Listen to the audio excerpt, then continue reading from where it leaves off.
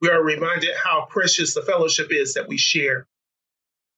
But we also gather around and worship through media, realizing that it is God who is the source of our worship. And what a fellowship and what a joy divine we have leaning on the everlasting God. So today we'll begin our worship with these words Give thanks to God with all your hearts.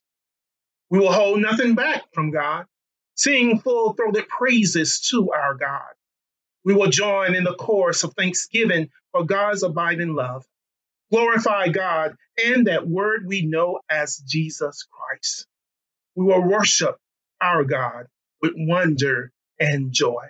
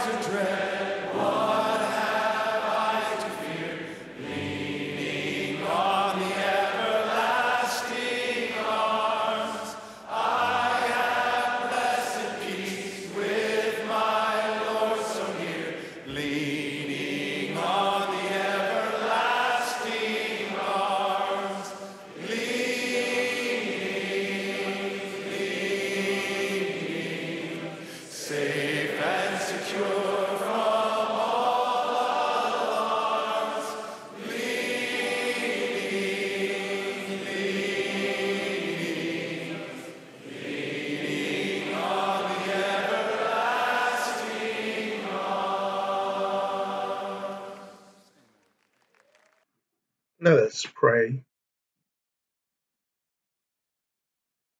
Our God, we pray for empathy, seeking to understand ideas, people, situations, ourselves, our faith, our hopes, seeking, exploring the why of life, the why of who we are Seeking because we know that only by seeking do we go beyond ourselves to where answers reside, answers that we had never considered.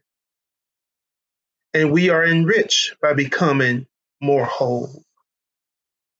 We pray that we would be vulnerable, open to being influenced to new ideas, new possibilities, lives enriched with new experiences, horizons, things we thought not possible.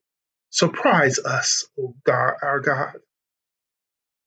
We know change causes us to be vulnerable. As we become less capable of adapting, changes seem greater as our limits become more apparent. Our abilities seem in decline, simple things small changes take on great magnitude.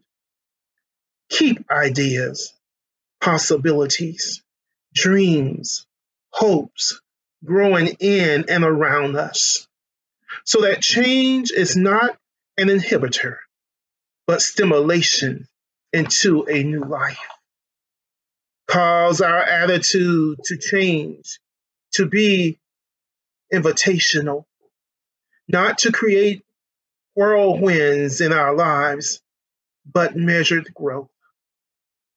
Keep us curious about life, exploring and discovering, growing into understanding more of the mystery of life as we walk with you, author of life, and our guide.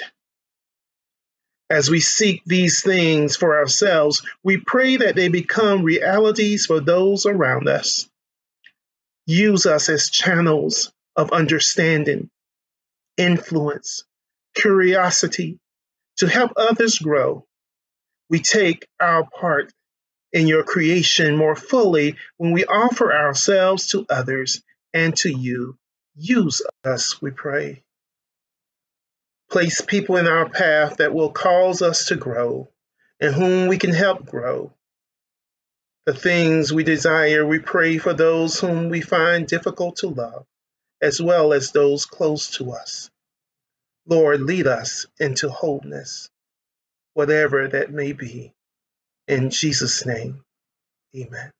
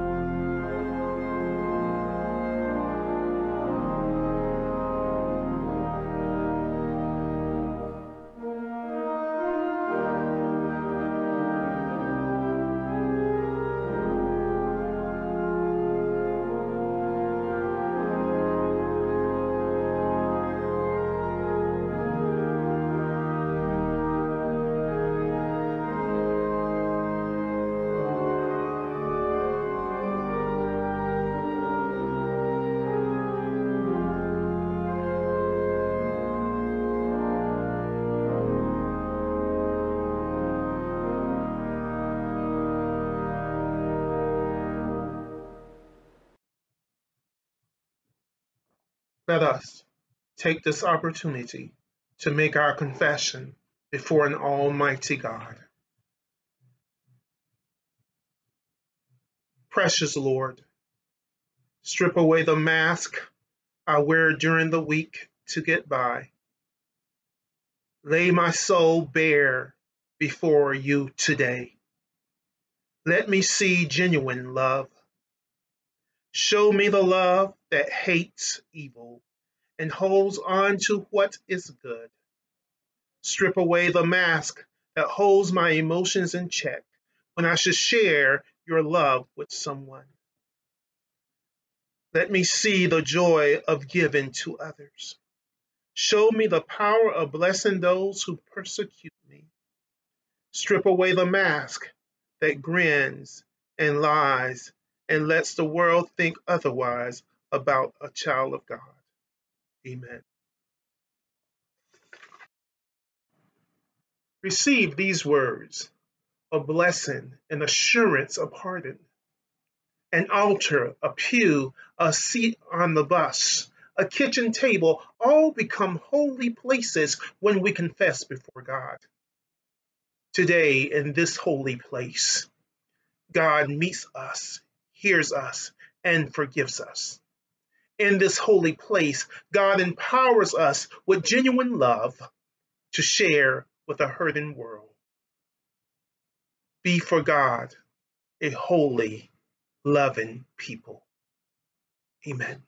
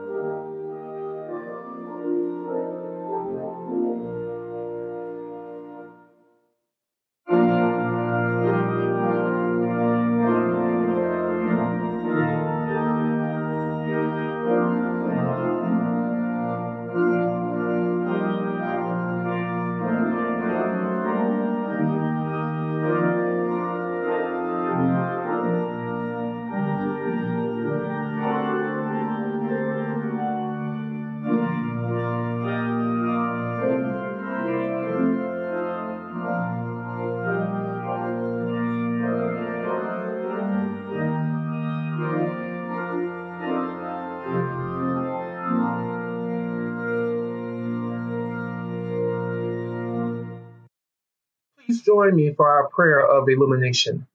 Almighty God, prepare us to discover your word for us today. Help us hear your servant, and in the spoken words, hear your word. May these words help us recognize our loyalties in the many fields of life through which we travel. Amen. The epistle lesson today is coming from Romans, the 12th chapter, verses 9 through 21. Let love be genuine. Hate what is evil. Hold fast to what is good. Love one another with mutual affection. Outdo one another and show in showing honor. Do not lag in zeal. Be ardent in spirit. Serve the Lord. Rejoice in hope. Be patient in suffering. Persevere in prayer. Contribute to the needs of the saints. Extend hospitality to strangers. Bless those who persecute you. Bless and do not curse them. Rejoice with those who rejoice. Weep with those who weep. Live in harmony with one another. Do not be haughty, but associate with the lowly. Do not claim to be wiser than you are. Do not repay anyone evil for evil, but take thought of what is noble in the sight of all. If it is possible. So far as it depends upon you, live peaceably with all. Beloved, never avenge yourselves, but leave room for the wrath of God. For it is written, Vengeance is mine, I will repay, says the Lord. No, if your enemies are hungry, feed them. If they are thirsty, give them something to drink. For by doing this, you will heap burning coals on their heads. Do not be overcome by evil, but overcome evil with good. The gospel lesson is from Matthew, the 16th chapter, verses 21 through 28. From that time on, Jesus began to show his disciples that he must go to Jerusalem and undergo great suffering at the hands of the elders and chief priests and scribes and be killed, and on the third day be raised. And Peter took him aside and began to rebuke him, saying, God forbid it, Lord. This must never happen to you. But he turned and said to Peter, Get behind me, Satan. You are a stumbling block to me, for you are setting your mind not on divine things, but on human things. Then Jesus told his disciples, If any want to become my followers, let them deny themselves and take up their cross and follow me.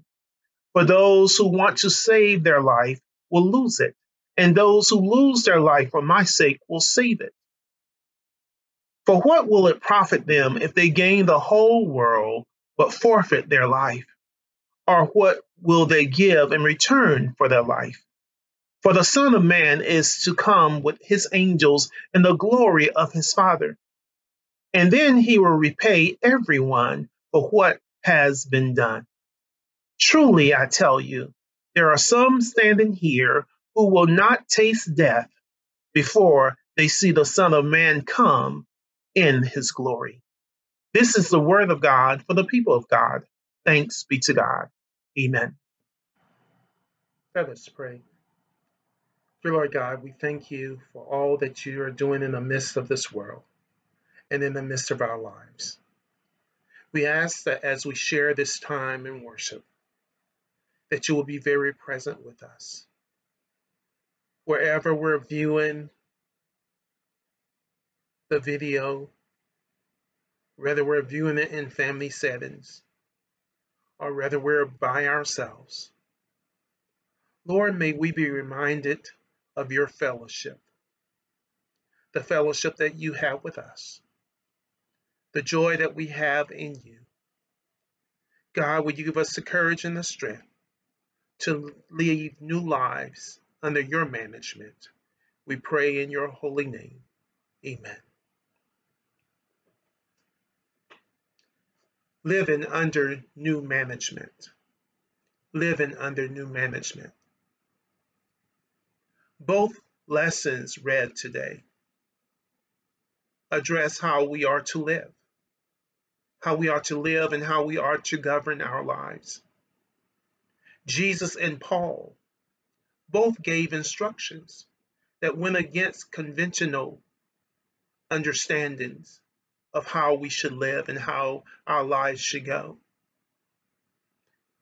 Paul's initial statements, some of us may find pretty easy to embrace because there were statements of things that we probably ascribe to already and probably ascribe to most of our lives because they are things that seem noble, noble existence to genuine love, to do good, to have mutual affection, show honor, and to have zeal, and to serve the Lord. Those are things we would not argue against. Those are things that don't go against the grain. Those are things that we probably feel are right on target. But then Paul goes into some statements that seem a little bit more challenging. It is almost like it is a bait and switch. He gets us feeling all good about our ability to live this life. And then he tells us some challenging things that we cannot live unless our hearts are changed and that we are empowered by the Holy Spirit of God because even things that seem positive are loaded with challenge. Rejoice in hope. Well, we know hope is something that we don't have already, that, that we're looking forward to it. And, and so some people will say, well, how can I rejoice in hope? I am longing for something. I, I, I'm trying to have faith that it will happen. But Paul is saying that even in the midst of that state of waiting, anticipating, that we are to have joy. Then he also says that bless those who persecute you. Bless and not curse them. Now, that's something that make you go, hmm, you mean if I am going to live a godly life, I have to bless the people who persecute me? I can't get even with them? I can't say things back mean to them or nasty to them. I cannot curse them. No, not under the new management. The new management that your life is under it requires something different. Then Paul moved the things that we probably can more easily accept when he said, Rejoice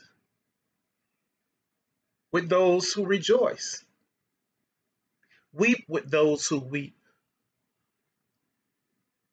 It's pretty easy to celebrate and to be happy when people are happy and they're rejoicing. And, and, and, and if we have any type of compassion, we can show sympathy and we can weep with those who weep. We're instructed to live in harmony with one another, to live in harmony with one another. Then he comes back with a challenge. Do not repay evil for evil. Do not repay evil for evil. Now, I know some of us are like, well, that's not what we learn on the playground. Because usually on the playground, if a bully was pushing us around and, and if we just kept running away from him and the bully kept pushing us, so we were encouraged to stand up to him. Well, is standing up to a bully repaying evil with evil? Not necessarily. Because standing up could also be dem- could be shown by demonstrating your strength of love. that you can look beyond what he's doing and you can reach for the, the, the true need that he has or she has inside her heart. Oh, when we say evil for evil, we mean that yes, someone does something bad and you make a choice to do something bad just to get even.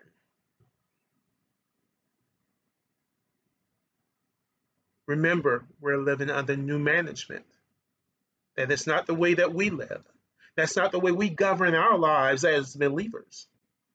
As believers, we are to be found doing good in all circumstances, doing good. He also tells us never avenge yourself. Never avenge yourself. Now, that sounds kind of strange now in the political and very polarized environment that we live in. It appears that people are constantly uh, avenging themselves. A statement is made and a rebuttal is made, and that each person has to attempt to outdo the other. But there are still voices that are reminding us that when they go low, we go high. Michelle Obama, one of our former first ladies, she constantly reminds us of that. When they go low, we go high. That's scripture. That's the Bible. Because Paul says, Beloved, never avenge yourself, but leave room for the wrath of God. For it is written, Vengeance is mine, I will repay, says the Lord. Now, Paul pushes this even a little farther. If your enemies are hungry, feed them. That's not what we were taught. We're taught to avoid our enemies. We're taught definitely not to do anything to benefit them. We're taught to have strict demarcations. And some of our enemies are assumed enemies. Because sometimes we make enemies out of people that we're just not familiar with. And we declare that they're enemies. I can honestly say I, I don't know that I have enemies. Whenever I hear this word, I'm like, well, um, I'm not certain. I, there, there are some people where I have a, a challenging relationship with them because they are the way that they are, and I am the way that I am, and, and our personalities don't click. But simply because I don't get along with someone or, or our personalities um, have conflict in them, the way we um, do things, the way we experience things. Does that make someone my enemy? But even if the person is your enemy, and even if the person has done something that is a threat to you, Paul says, if your enemies are hungry, feed them. If they are thirsty, give them something to drink. Can you imagine? The type of life we're being called to live. It seems that it is impossible to live all of this out, to live in this way, to live under this management, this management of grace, this management of love that Jesus teaches us about.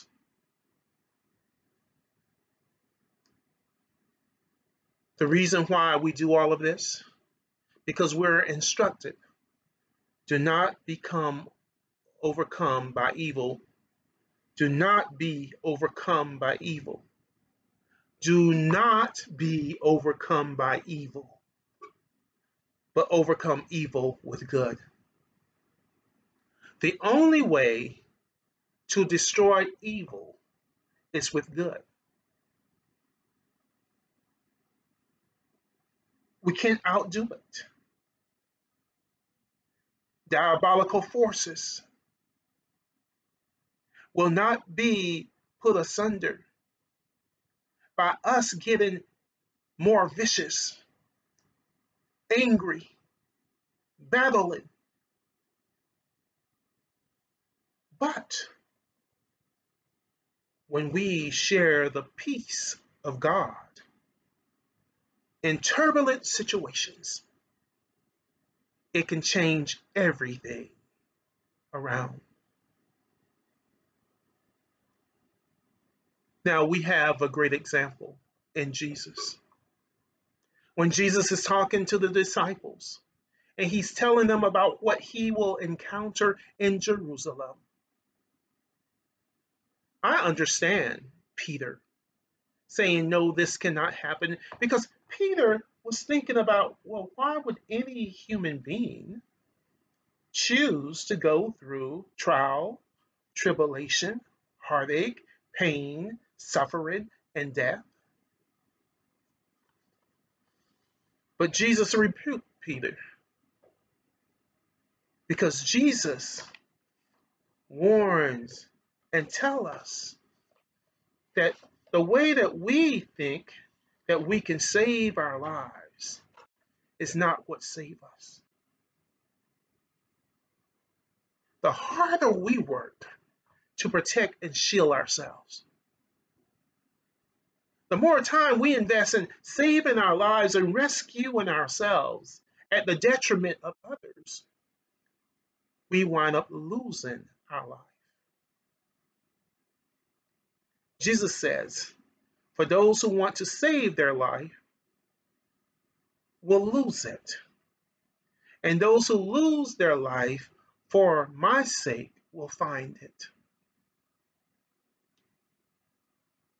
So when we give up something for the sake of the kingdom, we find life.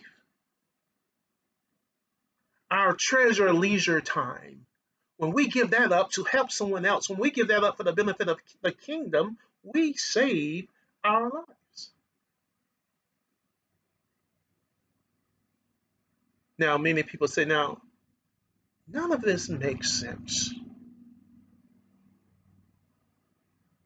This isn't the way that we're programmed.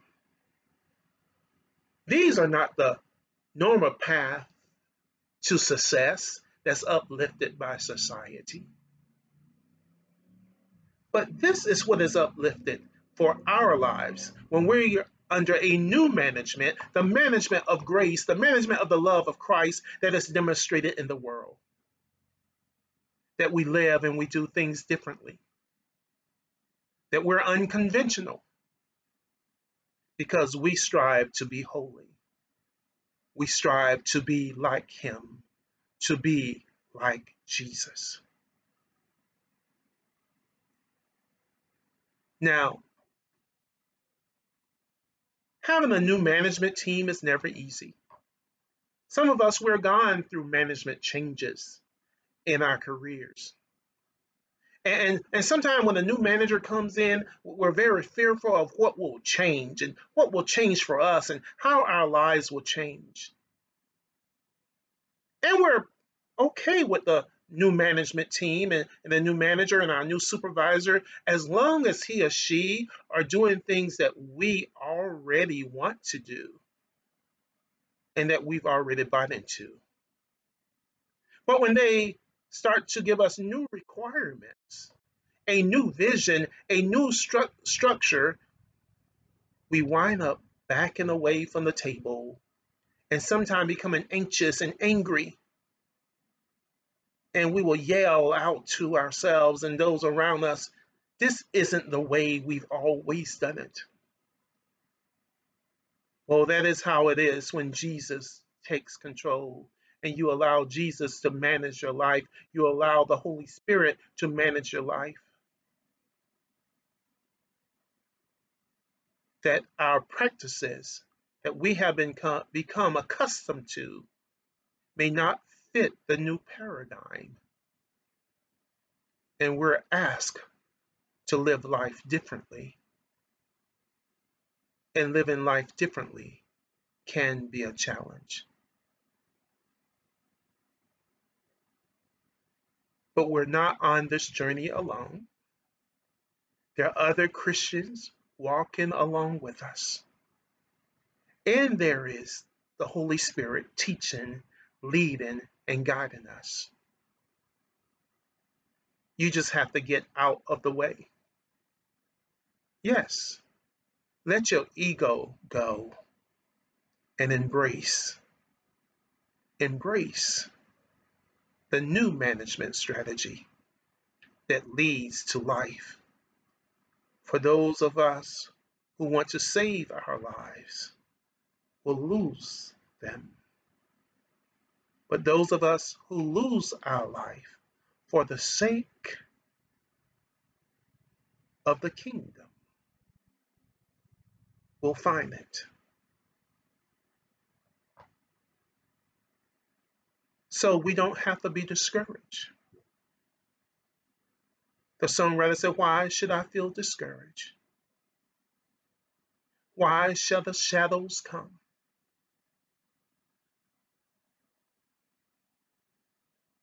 You know that Jesus is our portion, and a constant friend is He, and that His eye is on the sparrow. And I know I know that He watches me.